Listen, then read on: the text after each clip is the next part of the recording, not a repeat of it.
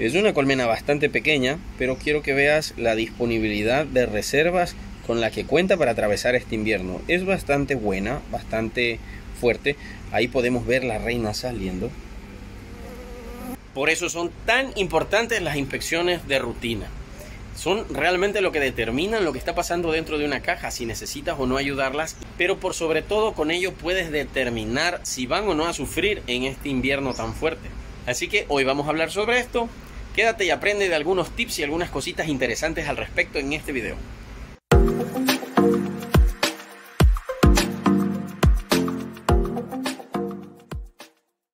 Hola mis estimados compañeros de Valkyria, mis amigos abejitas y abejitos de todo el mundo, mis compañeritos amantes de, de la naturaleza, de la conservación, de la preservación y de estos animalitos que son tan importantes imprescindiblemente importantes, diría yo. De hecho, fueron catalogados como el ser vivo más importante del planeta. Entonces, imagínate, es muy noble labor la que estás haciendo, la que estamos haciendo. Es algo muy bonito porque además de dejar una huella eh, para el ecosistema, pues eh, es muy gratificante. La meliponicultura de por sí es algo hermoso, relajante, apasionante. Y bueno, saber que hacemos algo positivo por, para el ecosistema, pues ya se lleva una cereza del pastel más grande. El día de hoy vamos a hablar un poco sobre las inspecciones rutinarias, sobre todo cuando se viene época de invierno. Bueno, en mi región, en mi zona, es época de invierno. Entonces estas inspecciones deben ser más exhaustivas, por decirlo así. El problema es que yo entiendo, hay casos eh, como el de nosotros, es muy difícil estar abriendo 400 cajas, 600 cajas, 500 cajas. Es, es, realmente difícil, porque no es solo abrir y, y, hacer así, es abrir y tienes que tener un poco de conocimiento y poder interpretar, esa es la palabra perfecta, interpretar lo que estás viendo. Porque hay muchas cosas que puedes encontrar cuando abres una colmena. Si yo veo gotitas de agua en el acetato, interpreto que está con problemas de humedad. Si veo que la cera está muy quebradiza, interpreto que puede haber una baja de humedad o puede ser debido a algunos indicadores que tengo que interpretar. Si veo que es muy poca población, ese puede ser el porqué. Si veo que, por ejemplo, eh, tienen demasiado polen y poco néctar. Si veo que no tiene néctar, pues podría ser también uno de esos puntos por el cual esté pasando, porque están sufriendo por faltas de reservas. Si veo que una colmena tiene mucho polen pero no tienen néctar, no tienen miel. Si veo al revés, que tienen demasiada miel, miel, miel, miel y no tienen polen. Si veo que una colmena está letargada o no salen. Si veo presencia de fóridos, eso ya hemos hablado mucho hay un montón de cosas que se pueden interpretar y cada uno tiene un síntoma, un indicador, un resultado si no metes la mano. Entonces aquí en Valkyria tenemos video casi para todo. Para todo lo que hemos hablado. Para la humedad, exceso de temperatura, para bajar los niveles de calor en el interior, para reducir la humedad, subir la población, mucho polen y no hay, y no hay néctar viceversa, mala termorregulación, tantas cosas, hormigas, presencia de fóridos, trampas para ello, todo, todo, todo, todo está aquí. Si no sabes de lo que te estoy hablando, no seas vago, es tan fácil como pasar y buscar los videos más antiguos porque esto es una escuela. Y el conocimiento está aquí y está gratis y público, así que solamente es de que pases un poquito y lo revises. Pero bueno, todo eso realmente es súper importante. Pero, para nuestra desgracia, no somos Superman y no podemos ver una colmena así y saber lo que tiene adentro. ya quisiéramos caminar por los meliponarios y decir, esta tiene pocas abejas, esta tiene esto, esta tiene... ¿Te imaginas el ahorro de tiempo? Sería maravilloso.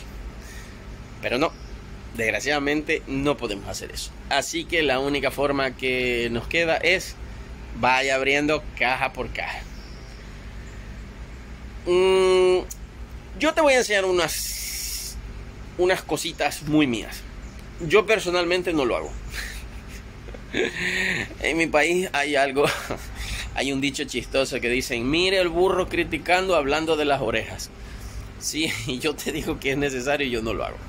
No lo hago porque a veces no me da el tiempo, porque ya son muchas cajas, porque ya son muchas colmenas, porque los meliponarios de campo no me gusta visitarlos mucho porque me da flojera. Aquí hace un sol que no tienes idea. aquí, o sea, hace un calor a veces que... ya soy medio flojo para... para estar caminando en esos solazos caja por caja, no me da pereza. Entonces, al que sí me dedico bastante es al estudio, que suelo, cada que grabo, hago inspecciones, estoy más pendiente porque, bueno, está en, está en mi casa, está prácticamente adentro. Entonces es más fácil para mí. Pero no hagas lo que hace este ocioso. Deberías hacer alguna inspección de rutina. Pero te voy a dar algunas cositas que necesitas saber, o, bueno, te voy a compartir lo que yo hago, ¿por qué no las reviso mucho? Yo no las reviso porque presumo y asumo que están bien. eso no tampoco está bien hacer eso, pero... ¿Por qué? Porque, bueno, digamos que yo ya tengo un poco más de experiencia. Digamos que yo ya tengo muchos años en esto. Y como que solo viendo las piqueras yo sé que están bien. Yo sé, esto está bien, esto está bien, está bien. Pero también mi experiencia me ha enseñado en que en ocasiones camino, paso y, y me quedo así. Me dicen, ¿qué pasó, ingeniero? Yo, esa colmena tiene algo. No, está bien. No, esa colmena algo le pasa. Y abrimos y fijo algo le pasa. Entonces, a eso es que tú tienes que llegar. A abrir tus colmenas cuando realmente... No, no digo que sea necesario, pero cuando haya un indicador visual que determine que deberías de hacerlo. Yo como te digo, o sea, no es que voy caja por caja abriendo, pero las abro cuando tengo una ligera sospecha de que algo no está bien.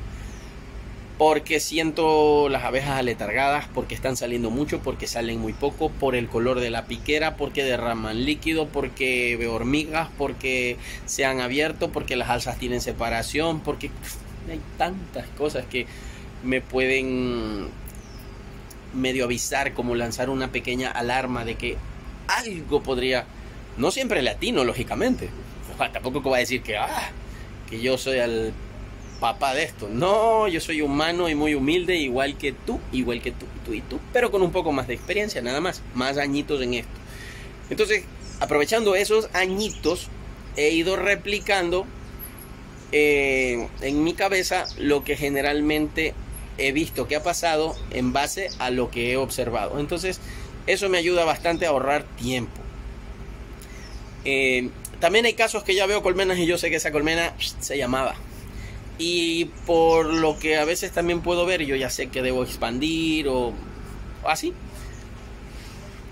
Es experiencia, poco de tiempo y sé que lo vas a lograr, lo vas a hacer. De hecho, seguramente ya lo estás haciendo.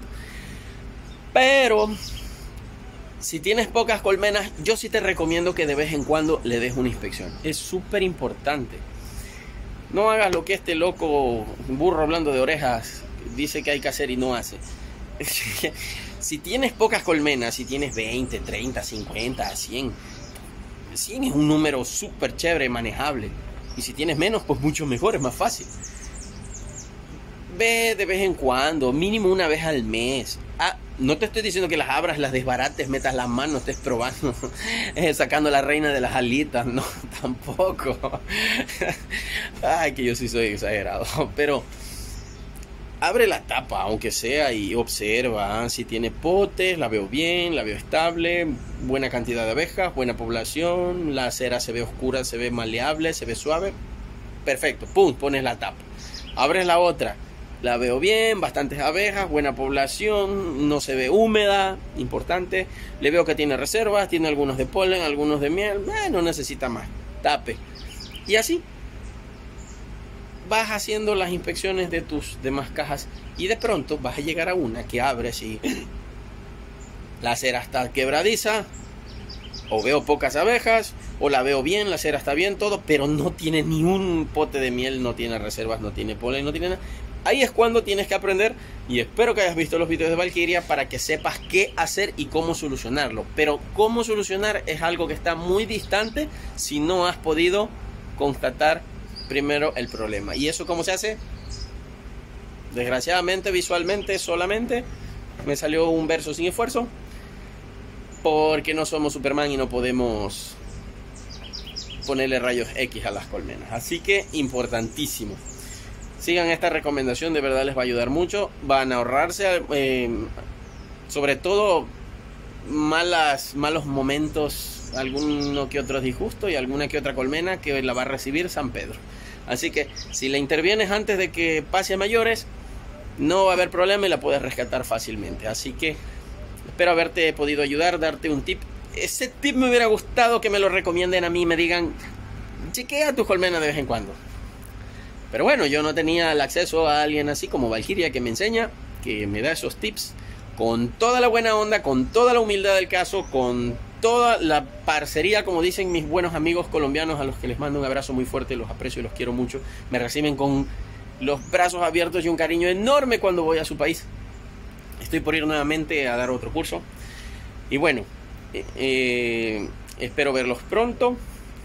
A los demás compañeros, denle like hay otras cosas chéveres, simpáticas, trucos y eso. ¿Y sabes por qué no te han llegado? Porque no le has dado like. Le das like al canal de los panes, de los bizcochos.